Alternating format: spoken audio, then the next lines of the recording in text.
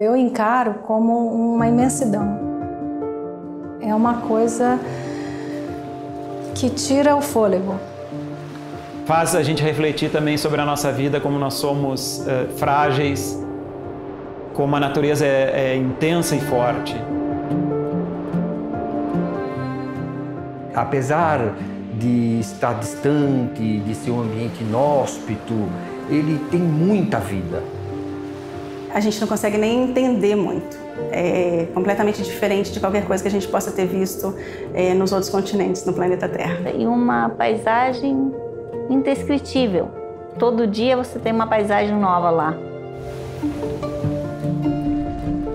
O que me faz estar na Antártica, na minha pequena barraca, numa temperatura muito baixa, é talvez a curiosidade humana que te leva para os lugares mais inóspitos desse planeta.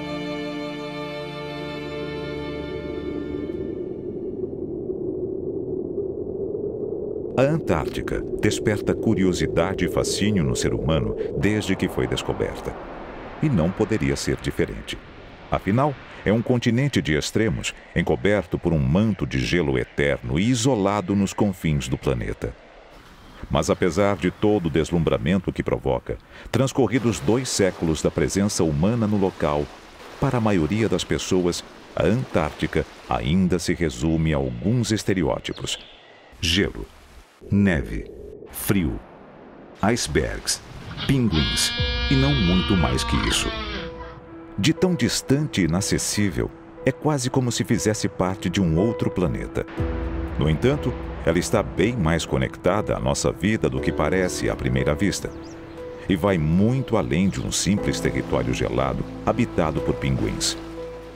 No planeta Terra, não há nada igual. A Antártica é única e suas particularidades geológicas, climáticas e biológicas são fundamentais para o equilíbrio do planeta e o futuro da humanidade. Conhecê-la mais a fundo é mergulhar no passado da Terra e no que ela tem de mais intocado. E para conhecê-la melhor, nada como começar desvendando a sua origem.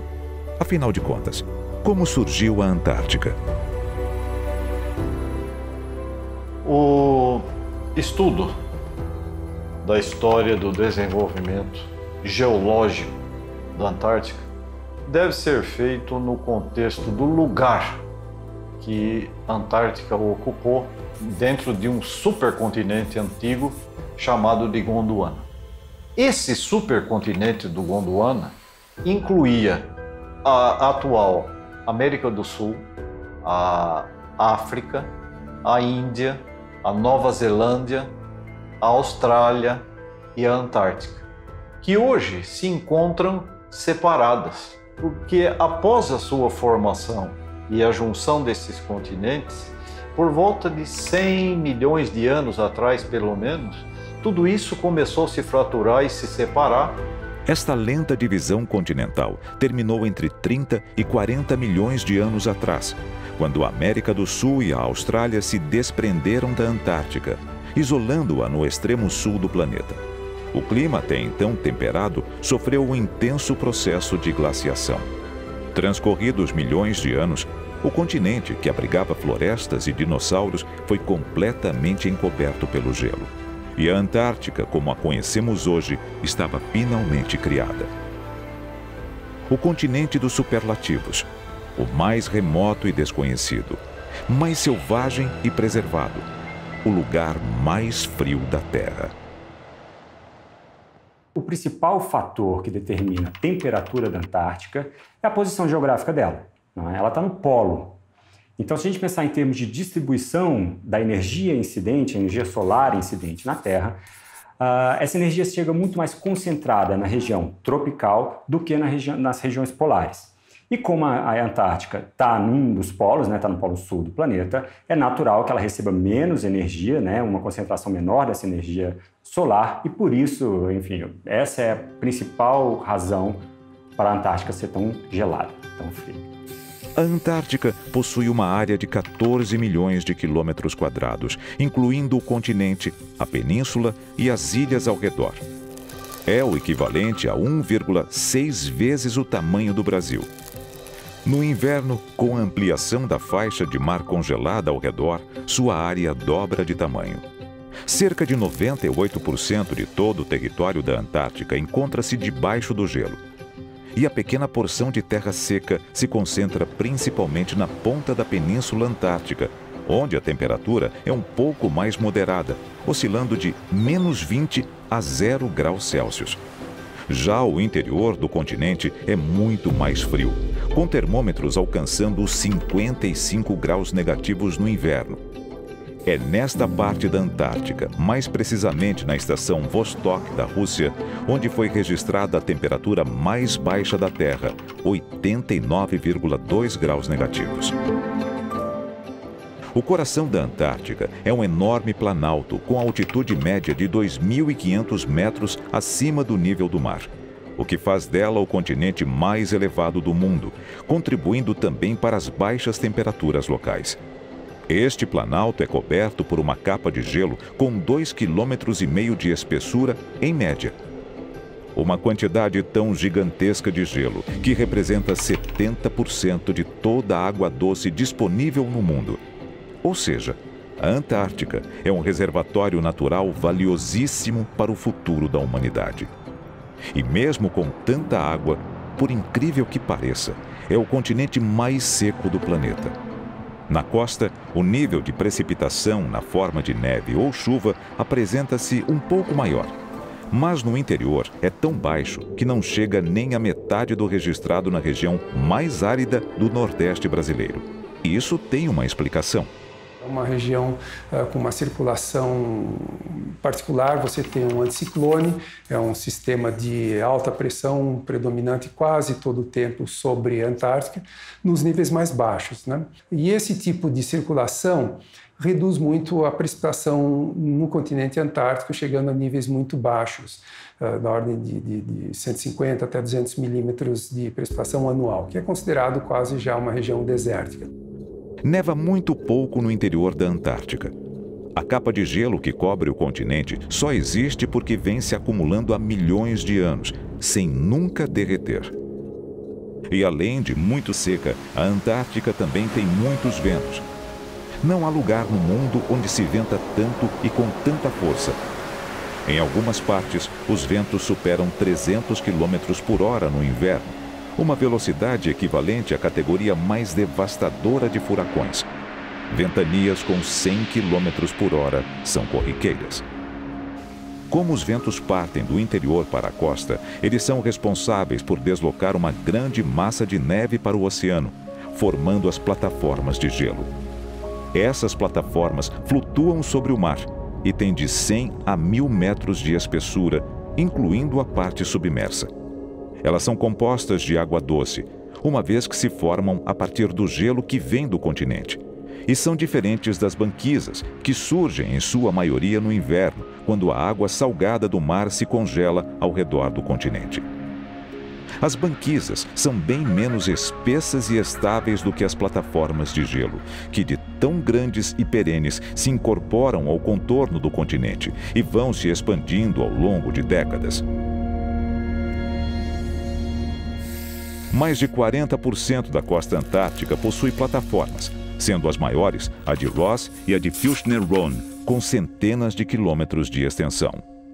Uma questão importante é, é, sobre as plataformas de gelo é que essas plataformas de gelo elas ancoram uma boa parte do gelo continental. À medida que vai se precipitando a neve, é exercida uma enorme pressão sobre o gelo que está sobre o continente, e esse gelo ele tende a fluir em direção às bordas do continente, ficando mais instável nas suas bordas mais distantes.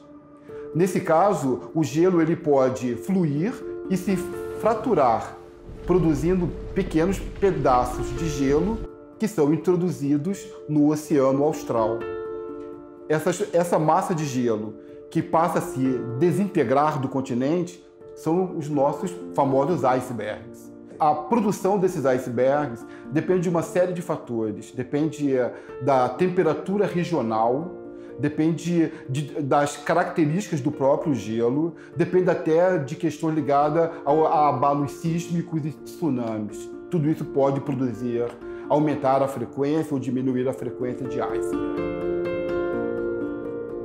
Estes icebergs flutuam no Oceano Austral, que contorna o continente antártico e exerce influência nas águas de todo o planeta por meio da sua corrente circumpolar. A corrente circumpolar antártica é uma corrente bastante peculiar, é uma das mais importantes do mundo, por ser um sistema fechado. Né? Ela, ela circunda todo o continente antártico. Junto com isso, ela delimita ou ela caracteriza o Oceano Austral, interconectando todas as, as, grandes bacias oceânicas do Pacífico, do Atlântico e do Oceano Índico. Então, o que ela acaba fazendo é, é misturando as águas dos diversos uh, continentes. Né? Isso tem uma importância biológica muito grande, porque alguns é, as propriedades, temperatura, salinidade e outras propriedades do oceano acabam sendo reguladas ali no Oceano Austral pela existência dessa corrente. A conexão entre o Oceano Austral e os demais oceanos também interfere no balanço da temperatura global por meio da chamada circulação termoalina, uma corrente gerada pela diferença de temperatura e densidade da água. Então, o que, o oceano faz? A porção superior absorve o excesso de calor que chega na região tropical, transporta esse excesso de calor para os polos, no caso da Antártica, à medida que essas águas mais quentes chegam próximo do continente, parte desse calor é perdido para a atmosfera e ocorre a formação das águas densas, que são águas mais frias e mais salinas, que, à medida que elas são formadas ali na, na borda do continente antártico, elas afundam e voltam para as regiões uh, tropicais do oceano. Ela redistribui o calor do planeta Terra. Não por acaso, a Antártica é reconhecida como uma espécie de refrigerador natural do planeta. Sem ela, a manutenção da temperatura global estaria comprometida. Para o Brasil, em particular, o sexto país mais próximo da Antártica, essa influência sobre o clima é ainda mais marcante. Na hora que você tem um, uma saída grande de, mar, de massas de ar frio da Antártica, uh, elas empurram a circulação toda mais para o norte e aí essas outras uh, massas de ar que estão no sul do Chile, sul da Argentina, conseguem chegar até o Brasil. A compreensão desses fenômenos uh, atmosféricos na Antártica, eles podem ser de grande valia para a nossa previsão do nosso dia a dia e o nosso, digamos, planejamento de atividades no, no nosso país. A importância da Antártica para a vida na Terra não se restringe à influência climática. Suas características particulares e sua condição de território mais preservado do mundo fazem dela um ambiente ideal para o estudo da história do planeta e de diversos fenômenos da natureza, o que a torna um verdadeiro laboratório a céu aberto. Muitos destes estudos estão relacionados com a atmosfera antártica, que apresenta diversas peculiaridades por causa de sua posição polar e das baixas temperatura e umidade da região. Sobre o continente gelado, a atmosfera é muito mais fina que no restante do globo e não possui o campo magnético que em outras partes bloqueia as partículas originadas nas explosões solares. A combinação destes fatores deixa a atmosfera da Antártica bastante sensível a alterações ambientais. As mudanças se manifestam de forma rápida e intensa sobre ela, e por isso os cientistas a consideram uma espécie de termômetro da saúde do planeta. Foi na Antártica, por exemplo, onde primeiro se detectou o buraco na camada de ozônio.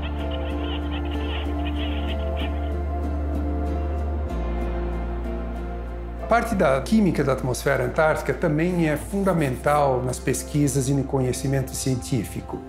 Ah, em princípio, aquela região seria a mais pura possível no planeta, mais afastada de todas as contaminações que a humanidade produz e nos permite uh, perceber qual é o grau de contaminação real que a humanidade está conseguindo uh, injetar na atmosfera do planeta.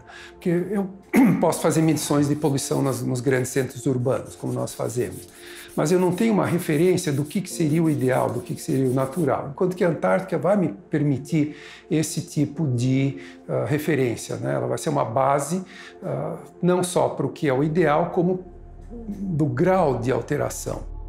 O mesmo potencial para pesquisas científicas oferecido pela atmosfera também se repete em terra firme. Mais precisamente no manto de gelo do continente, que funciona como uma espécie de museu natural da história climática do planeta. Quando o gelo se forma, né, ele é, na sua parte superior, altamente aerado.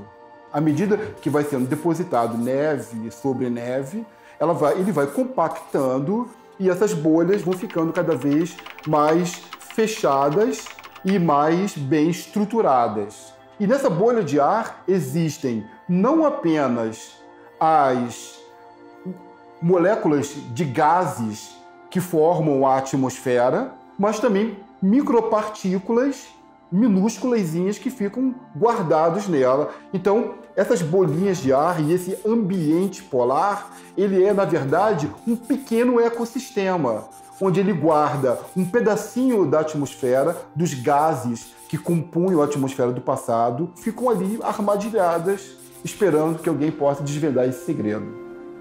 Essas bolhas de ar aprisionadas no gelo são conhecidas como testemunhos do gelo. E quanto mais abaixo da superfície elas se encontram, mais antigos são os vestígios atmosféricos armazenados em seu interior. Por isso, aprofundar-se no manto de gelo antártico é quase como fazer uma viagem no tempo. Os testemunhos de gelo, eles guardam tudo que passa pela atmosfera. Então, as poeiras dos desertos, o spray marinho, a poluição humana dos continentes, a variação do uso do solo, as erupções vulcânicas, tudo que gera material particulado para a atmosfera é, de certa forma, transportado até a Antártica. Então, cada elemento que você mede em cada partezinha do testemunho de gelo te dá uma informação diferente. Te dá uma informação de como os desertos estão crescendo. Te dá uma informação como estão os ventos dos oceanos. Te, te dá uma informação da, se, da frequência dos ciclones, da intensidade global e do impacto global das erupções vulcânicas. E até onde a poluição humana pode chegar. Como os cientistas descobriram a relação entre profundidade e cronologia, puderam concluir, por exemplo, que em determinada região, cerca de 10 metros abaixo do manto de gelo, encontram-se bolhas de ar da época da bomba atômica de Hiroshima. Indo mais fundo a 300 metros, estão bolhas com o ar respirado na época de Jesus Cristo. Os registros mais antigos conhecidos até o momento datam de aproximadamente 800 mil anos atrás. E há muitos outros segredos escondidos sob a superfície da Antártica. Entre eles, os mais de 145 lagos submersos. São áreas com água em estado líquido, localizadas centenas ou mesmo milhares de metros abaixo do manto de gelo. O Lago Vostok, descoberto em 1996, é o maior de todos. Pelo que se sabe até agora, ele está selado pelo gelo há centenas de milhares de anos e pode guardar informações biológicas e geológicas de inestimável valor científico. Esses ambientes eles são interessantes para tentar encontrar esse é, célula mais antiga na, na, na base da, né, o ancestral mais antigo que deu origem à vida, é, que ainda não foi descrito, né? E também é, compreender esses limites para a vida. Existem poucos lugares no planeta que contribuam para o conhecimento de evolução, adaptação, limites para a vida, né? Como, como a Antártica ainda é. A presença de micro-organismos no interior da Antártica não se restringe aos lagos subglaciais. Há micro-organismos levados pelo vento ou alojados em áreas específicas sobre ou dentro do gelo. São chamados de seres extremófilos, adaptados para sobreviver em condições extremas.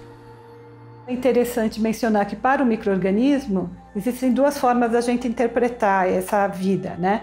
Uma é a vida celular quando ele consegue se multiplicar. O outro é aquele estágio metabolicamente ativo, mas ele não está se multiplicando. Ele mantém vivo ali naquele gelo, é, mas ele não está se multiplicando. Então são limites diferentes. E é interessante porque na, até a década de 70, quer dizer, não faz tanto tempo assim, acreditava-se que na regi nas regiões polares é, era um meio que seria estéril, não existe microorganismo, existe vida. E mesmo em ambiente tão inóspito, os microorganismos não estão sozinhos. Quem faz companhia para eles são seres vivos bem mais complexos. Os pinguins imperadores. A maior espécie de pinguim e a única que usa o interior da Antártica como habitat para reprodução. Eles conseguem reproduzir a menos 80, menos 90 graus de temperatura. Eles fazem a postura do ovo, né? E o cuidado parental é de cerca de um ano e meio até conseguir é, deixar o filhote independente. Então, a fêmea se alimenta, ela caminha até o interior do continente, faz a postura do ovo, passa para o macho, o macho fica lá dois, três meses chocando esse ovo enquanto que a fêmea vem para o mar se alimentar. E depois ela retorna com a alimentação quando o filhote nascer, para ela ficar alimentando ele é, lá no interior do continente. E eles ficam se revezando. Então, o macho e a fêmea buscam alimento no mar e voltam para o interior do continente. E essas viagens levam de 30 a 60 dias, em média. Os pinguins imperadores recorrem ao litoral porque sabem que é lá que a vida se manifesta na Antártica. A escassez do interior contrasta com a abundância da costa, onde as temperaturas são menos agressivas. O gelo abre brechas para a terra seca e o Oceano Austral se oferece como a maior fonte de alimentação do continente. Não fosse o oceano, praticamente não haveria vida na Antártica, uma vez que o ecossistema terrestre se apresenta bastante pobre, mesmo nas regiões litorâneas.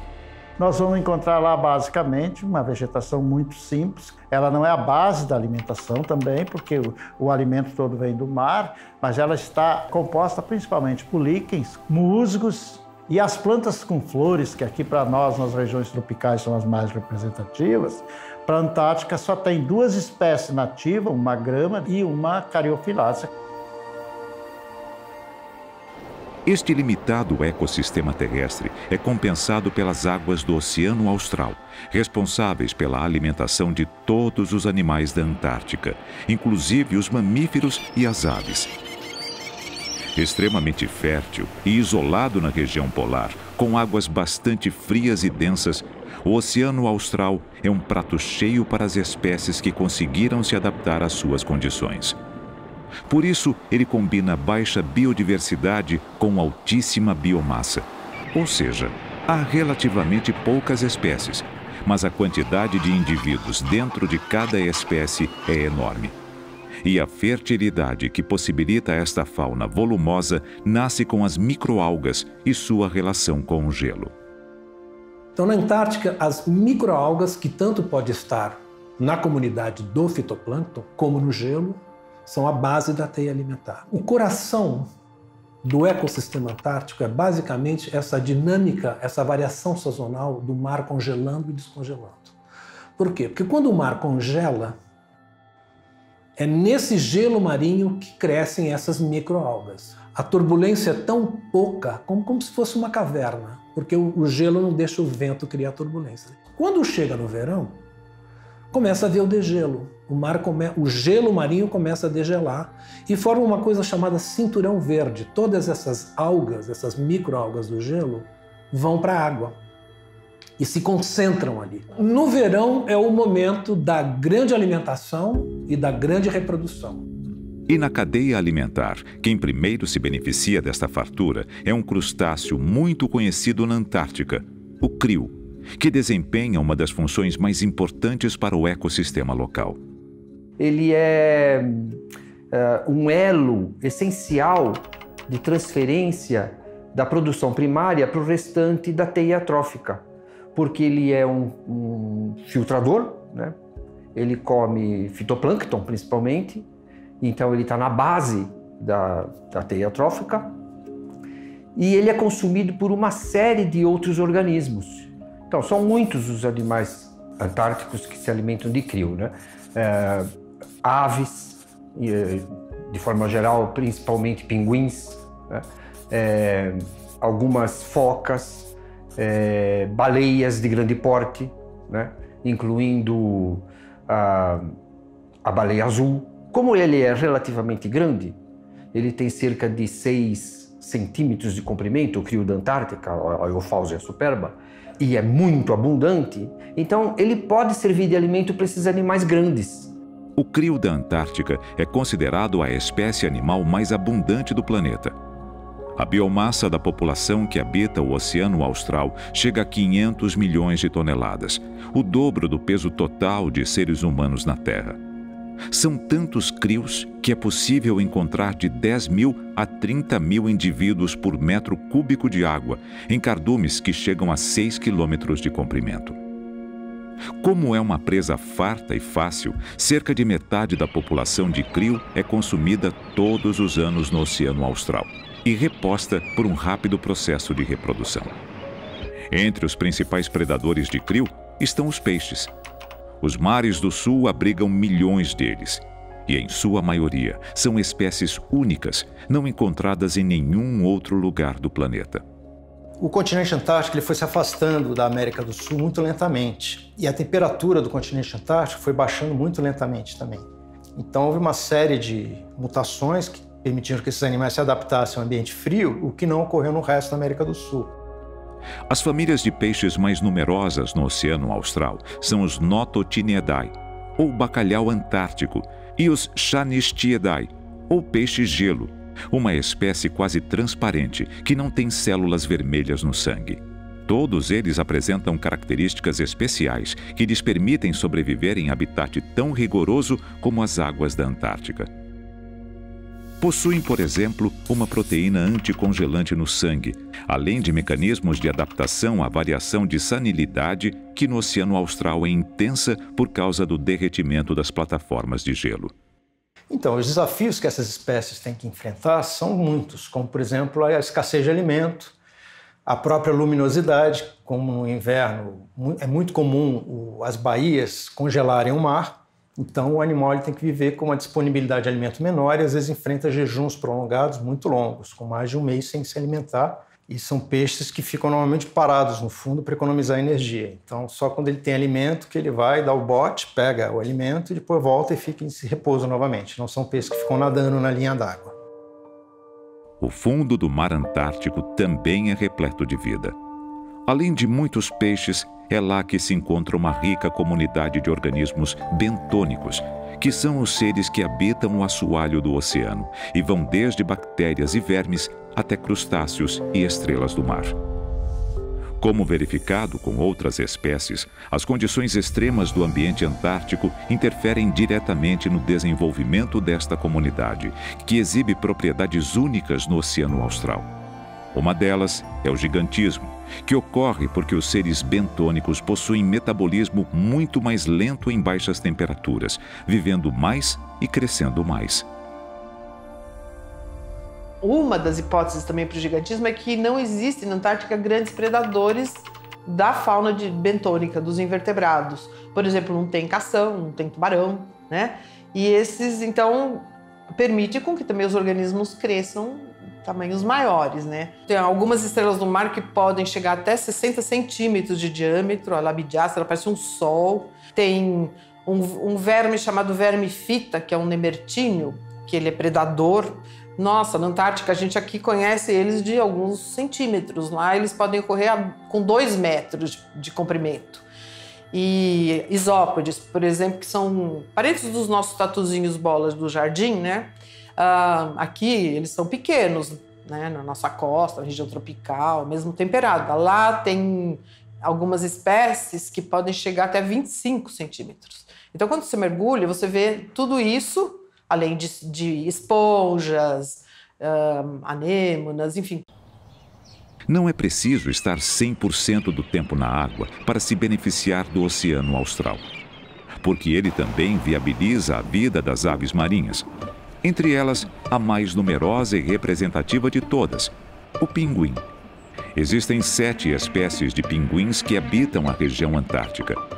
Além do imperador, há o pinguim Adélia, o papua, o de barbicha, entre outras.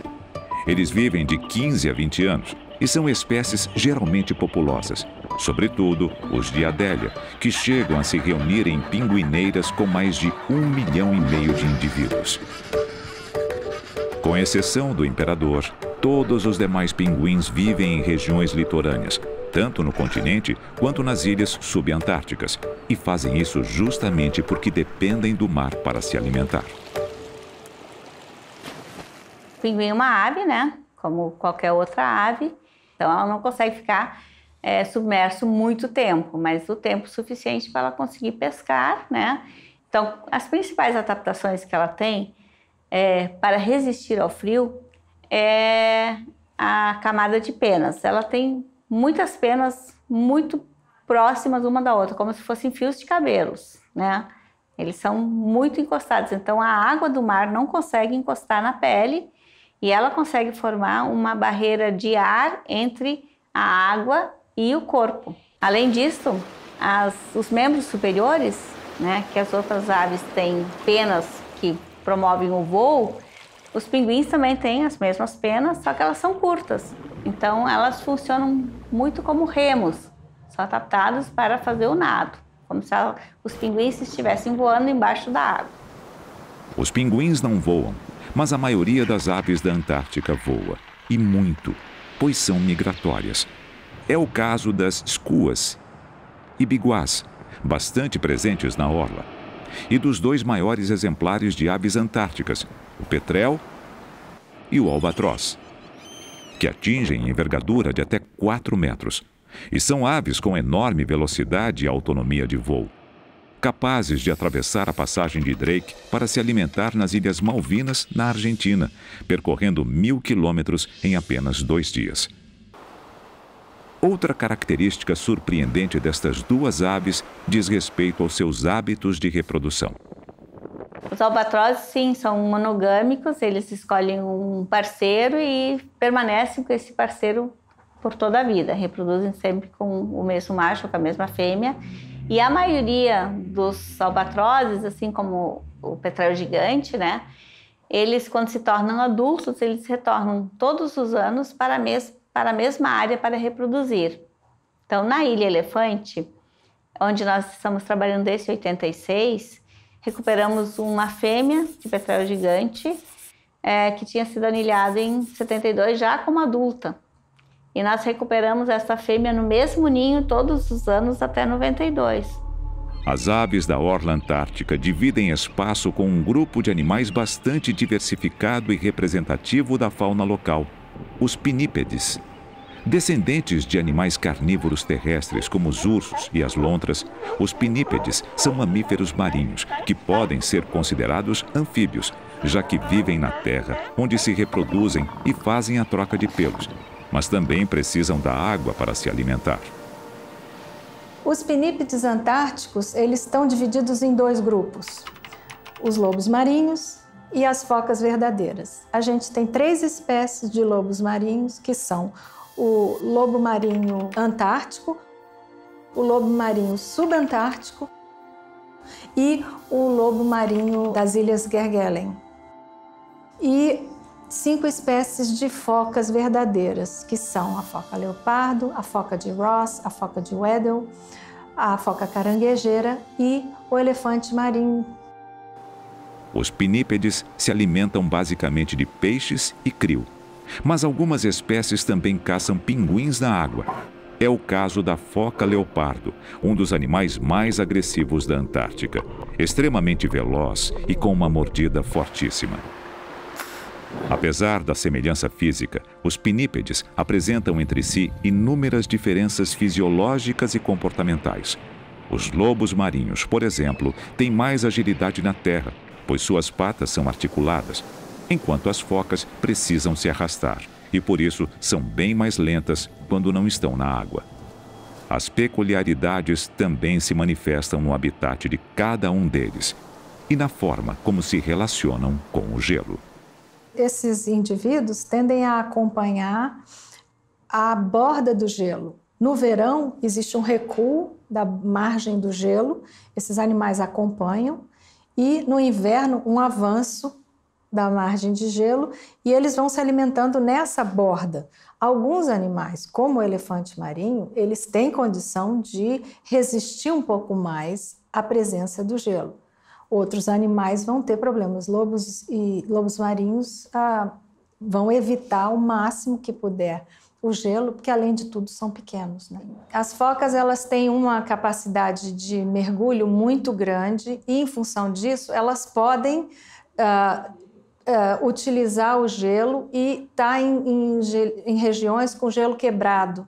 Mas elas precisam de gelo que tenha água embaixo para poder fazer o buraco, mergulhar, se alimentar e voltar. Exímias mergulhadoras, as focas conseguem ficar até uma hora embaixo d'água.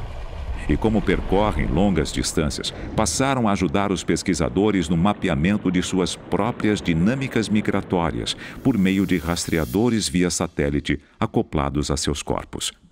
Recurso semelhante é adotado com os maiores mamíferos do Oceano Austral, as baleias.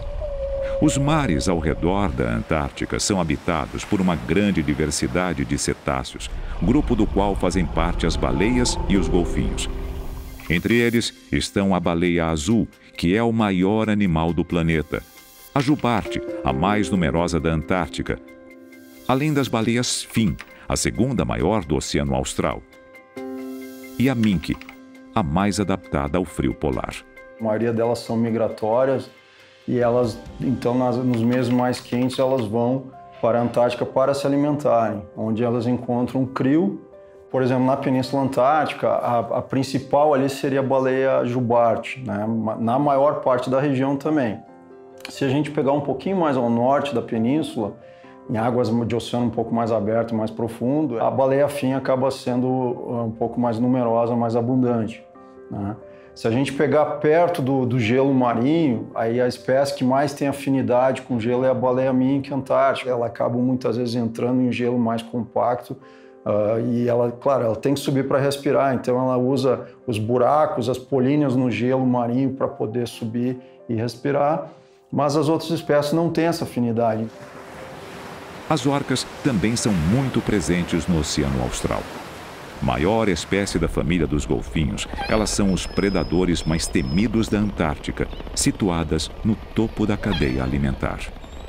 Elas predam sobre alimentos diferentes, então a gente tem algumas que se alimentam, por exemplo, de outros mamíferos marinhos, então ela preda sobre as baleias mink. Tem outras que predam uh, sobre pinguins, uh, também peixes, né? e outra ainda que, que preferem as, as focas. Se atualmente as orcas representam a maior ameaça para baleias e focas nas águas polares, no passado, outro predador conseguiu ser ainda mais letal: o ser humano, responsável por levar algumas espécies à beira da extinção.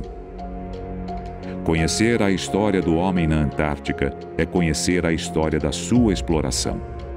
Isso porque a Antártica é o único continente do planeta que não possui população nativa. Ou seja, antes do desembarque de seus primeiros exploradores, nenhum outro ser humano jamais havia habitado esta parte do globo terrestre. Embora existam indícios de que já no século VII, povos originários da Terra do Fogo e da Polinésia tenham visitado a Antártica, o primeiro a avistá-la e documentar o feito foi o navegador inglês William Smith, no dia 19 de fevereiro de 1819. E a descoberta foi por acaso.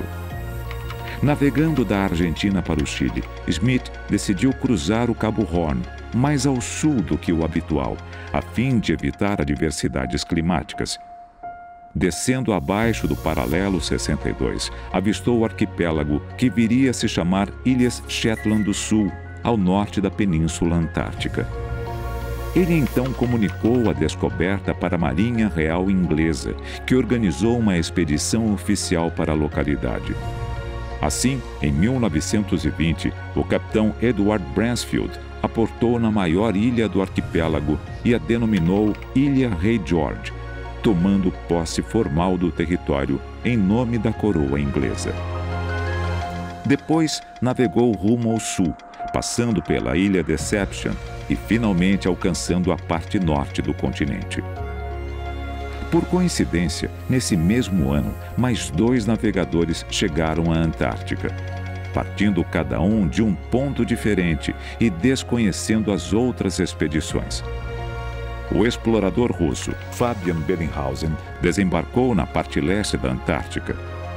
E o capitão baleeiro norte-americano Nathaniel Palmer circulou pela região da Península Antártica.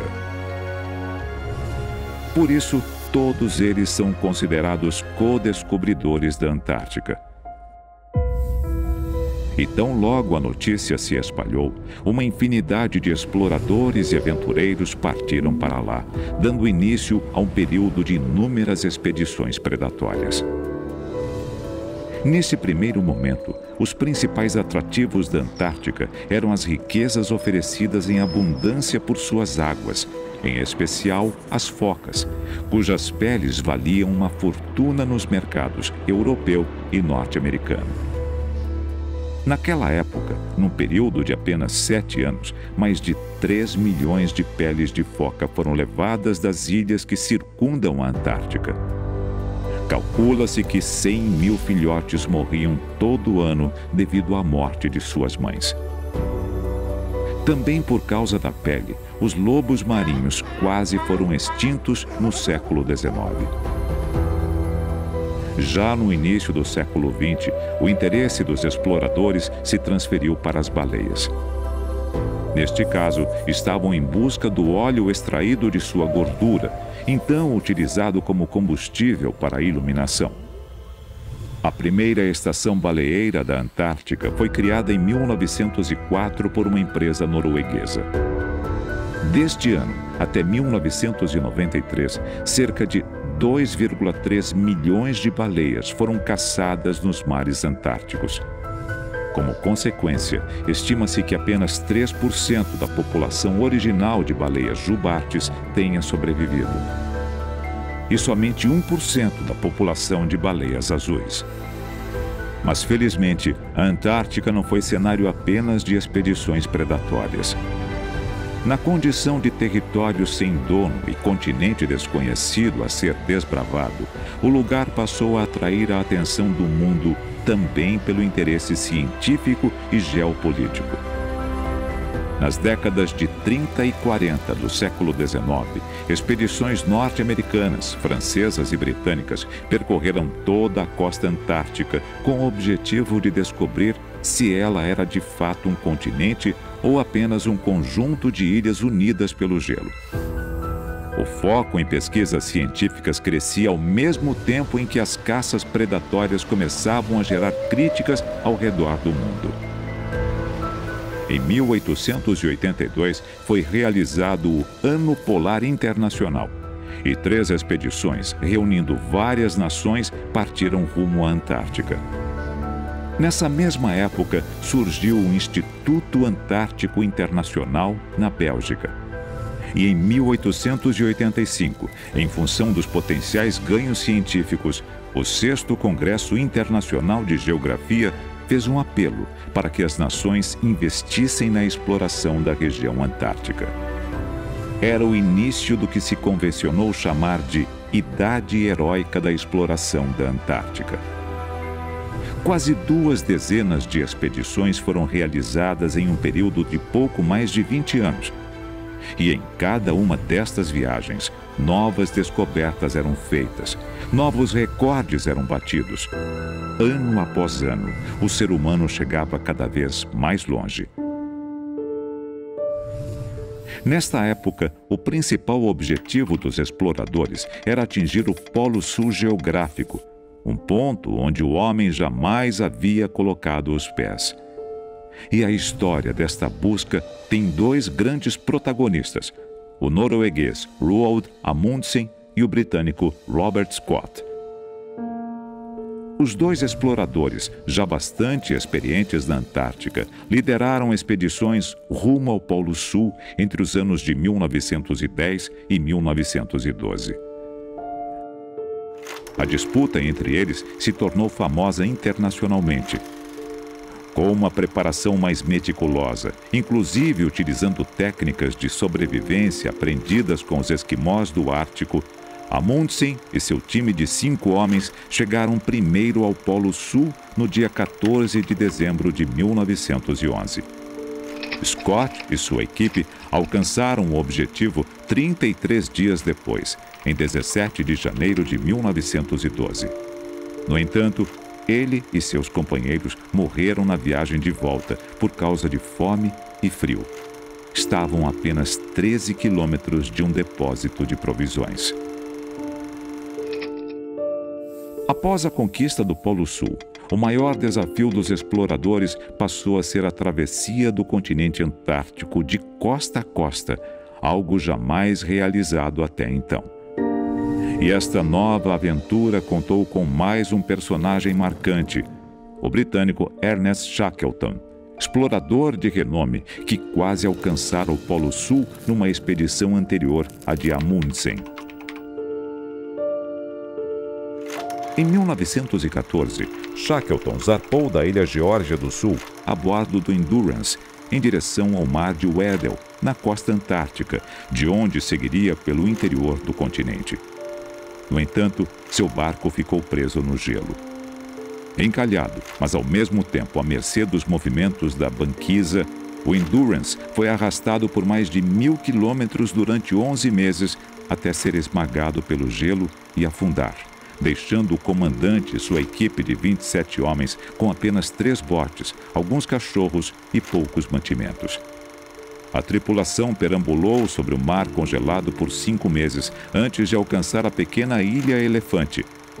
De lá, Shackleton e mais cinco partiram em um bote à procura de ajuda, que encontraram a mais de mil quilômetros dali, justamente na ilha onde haviam iniciado a aventura. Lá conseguiram um barco para finalmente resgatar a equipe. Quase dois anos depois do início da expedição.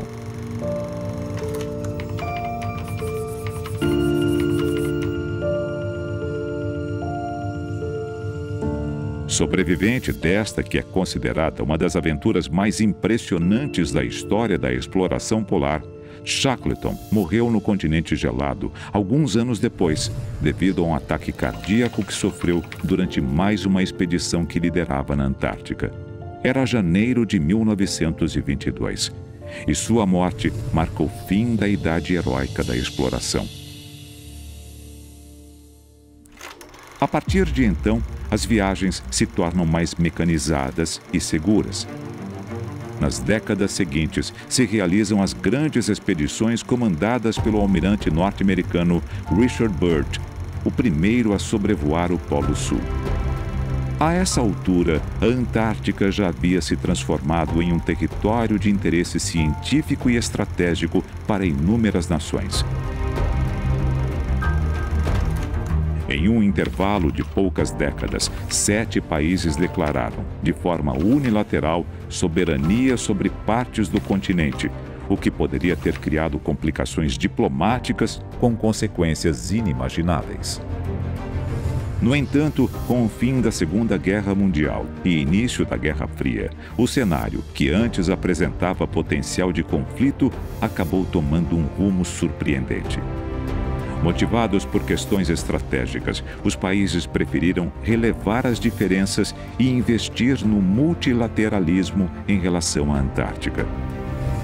Em 1957, no primeiro ano geofísico internacional, ocorreu a maior expedição já realizada, com cientistas de 67 países e a construção de 50 estações de pesquisa. Um ano depois, foi criada a Comissão Especial de Pesquisa Antártica. E em 1959, os 12 países que mantinham estações na Antártica se reuniram na Conferência de Washington e assinaram o Tratado Antártico, o principal marco de consolidação do cooperativismo global em prol da preservação e da pesquisa na Antártica. The nations of the world have recently united in declaring the continent of Antarctica off limits to military preparations. O Tratado Antártico entrou em vigor em 1961, promovendo a harmonia entre os países territorialistas e aqueles que advogavam pelo livre acesso. O documento estabelece diretrizes para toda a área abaixo do paralelo 60.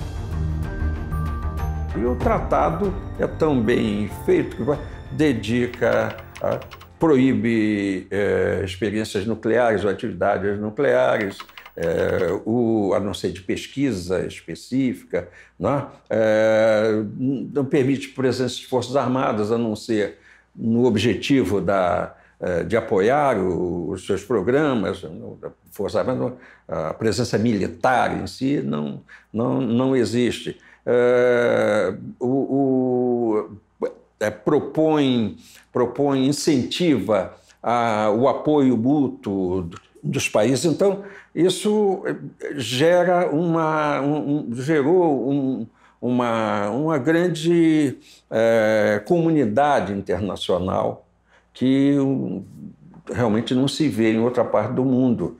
Um, um, uma moldura jurídica dessa que tenha é, acomodado tão bem e que tenha uma duração tão grande.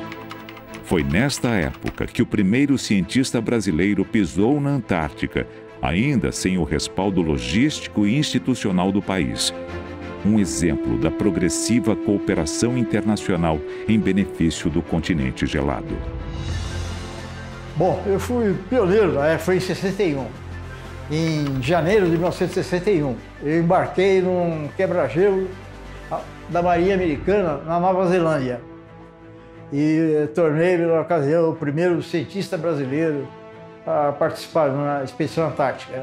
Saímos de Wellington, na Nova Zelândia, atravessamos o Oceano Pacífico todo e fomos explorar um, um setor da costa do continente antártico junto ao Oceano Pacífico. Era uma costa desconhecida, então não se sabia nem se íamos cons conseguir atingir o UOL, a região visada. Mas foi uma aventura muito grande a partir de janeiro de 1961. Com a consolidação do tratado, a presença de cientistas da Antártica e a preocupação com seu ecossistema atingiram um novo patamar. Em 1972, ocorreu a Convenção para a Conservação das Focas Antárticas. Dez anos depois, foi realizada a Convenção para a Conservação dos Recursos Marinhos Vivos da Antártica, e em 1988 aconteceu a Convenção para a Regulamentação das Atividades sobre os Recursos Minerais Antárticos. É neste contexto de conscientização ambiental e aumento da participação de países nas pesquisas antárticas que o Brasil iniciou oficialmente sua história no continente austral, aderindo ao Tratado Antártico em 1975. A primeira expedição brasileira foi realizada em 1982 e contou com o navio Barão de Tefé, da Marinha do Brasil, e o navio Professor Vladimir Besnard, do Instituto Oceanográfico da USP. E a primeira uh, viagem nossa, em verdade, era uma viagem de mostrar bandeira, mostrar presença na Antártica e mostrar um, uma, um interesse é, engajado na Antártica. É, o tratado exigia que a gente tivesse expedições ou tivesse estações. A segunda operação ela tinha por objetivo é, fazer a cartografia da Baía do Almirantado, é, trabalho de que eu participei, é, e é, escolher um local para a estação e mais, implantar uma estação Antártica, que era modesta na época, eram seis contêineres apenas. Um ano depois, o Brasil já ingressava na categoria consultiva do Tratado Antártico, tornando-se membro com direito a voto e poder de decisão sobre a preservação ambiental e o futuro político do continente. Para isso, precisou comprovar constância e relevância dos estudos científicos desenvolvidos na Antártica. Atualmente, apenas 29 países integram este grupo. E para coordenar o trabalho científico brasileiro na Antártica, em 1982 foi estabelecida a Comissão Nacional para Assuntos Antárticos, que posteriormente aprovou as diretrizes para a criação do ProAntar, o Programa Antártico Brasileiro. O Programa Antártico Brasileiro, é, diferentemente de outros países que têm institutos antárticos que tocam toda a parte dos programas antárticos desses países, o Brasil faz uma articulação interinstitucional.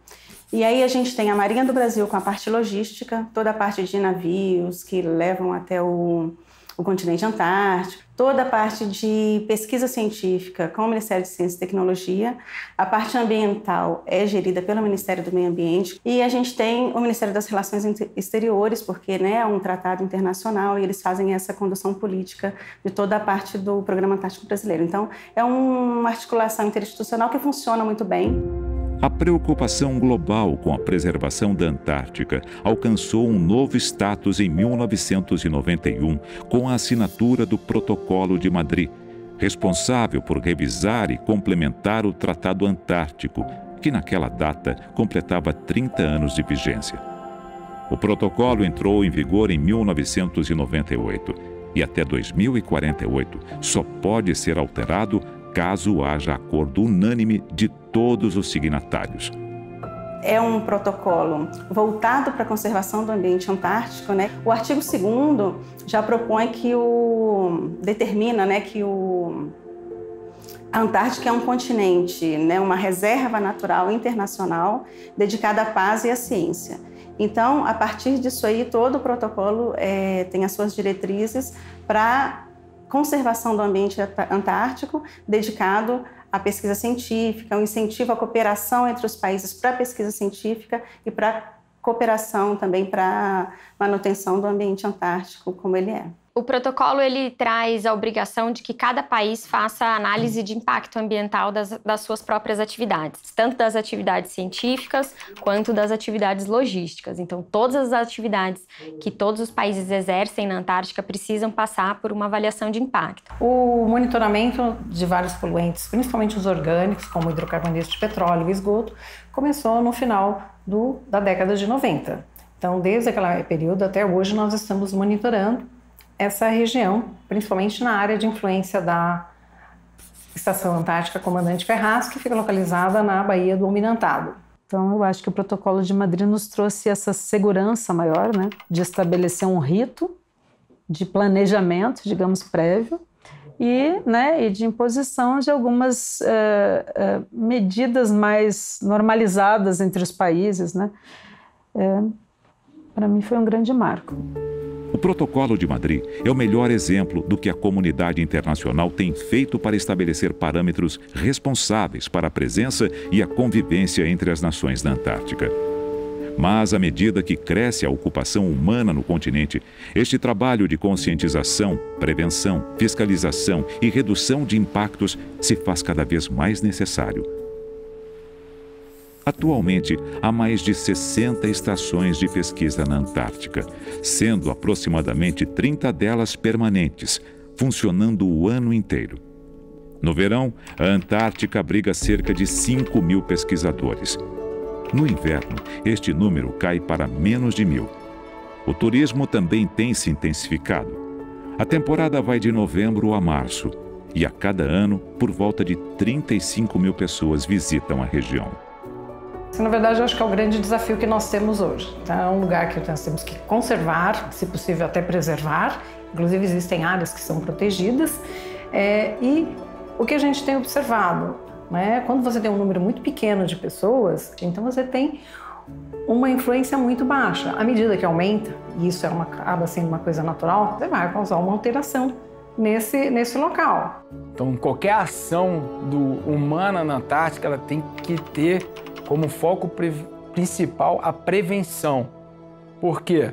Porque em caso de acidente, não tem como eu acionar outros recursos. Então, quando o, órgão ambiental atua, ele atua na prevenção, atua fazendo a gestão ambiental com foco principal na prevenção. Então, a gente fazia o quê? A gestão do risco. Se uma atividade tem um determinado risco, Então vamos fazer de tudo para que esse risco, não, esse acidente não ocorra. Para minimizar o potencial de impacto sobre o ambiente, a Antártica possui diversas áreas reguladas por regimes diferenciados. São as ASMAs, áreas especialmente gerenciadas, e as ASPAS, áreas especialmente protegidas. O primeiro caso se refere a regiões ricas em biodiversidade, pontos com especial valor paisagístico, sítios históricos ou que apresentem algum grau de vulnerabilidade ambiental. Para ocupar ou visitar uma asma, é preciso seguir uma série de critérios que visam a sua proteção. A Baía do Almirantado, onde se localiza a estação brasileira e a maioria das pesquisas desenvolvidas pelo país, foi a primeira asma a ser criada na Antártica. É uma referência para toda a comunidade científica. Já as aspas são regiões bem mais sensíveis, como as áreas de reprodução de aves, e por isso apresentam maiores restrições de entrada e permanência. Instrumentos como estes organizam a ocupação da Antártica, estabelecendo limites para a interferência humana e protegendo o continente das ameaças que o superpovoamento, a negligência ecológica e o interesse econômico podem representar.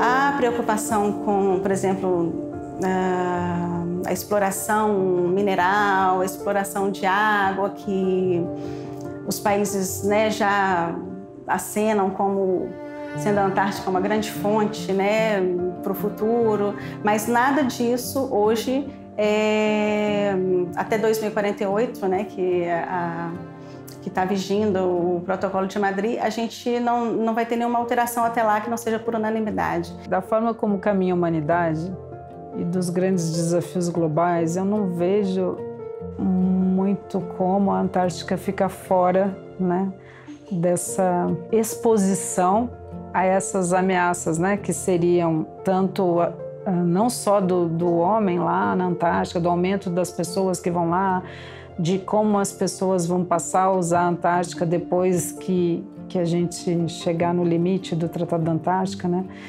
E, mas, inclusive, por questões que estão fora da nossa governança de decisão, as próprias mudanças climáticas, o que isso vai estar afetando a Antártica, que já é bem estudado, mas a gente não sabe de fato que tipo de ingerência, porque não é só o que acontece lá e a gente estando lá que a gente impacta lá. Então, a gente tem todo o impacto da mudança do clima, que vão alterar toda essa, essa parte de balanço, atmosfera, oceano, que podem impactar os recursos vivos que estão lá. Então, se por um lado a gente sabe que pode ter uma pressão por alguma exploração, a pressão por superpopulação, a pressão por recursos, a gente sabe também que a consciência de preservação pela manutenção que o continente dá para o planeta inteiro é muito grande. Então, eu acho que isso vai ser muito bem pesado e, por enquanto, dentro do que está sendo discutido, a gente está seguindo por um viés muito de conservação do ambiente antártico a gente não sabe o que vai acontecer no futuro. Vai depender muito da nossa postura como ser humano.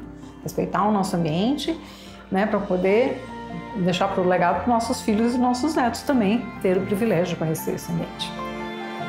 Um ambiente onde a natureza é poderosa e vulnerável ao mesmo tempo. Assim é a Antártica. Memória viva do planeta em seu estado original. Território sem dono e que pertence a todo mundo uma reserva natural consagrada à ciência e à paz entre os povos, fonte de conhecimento para o homem e de equilíbrio para o ecossistema. Um continente vital, ponto de encontro entre o passado da Terra e o futuro do ser humano.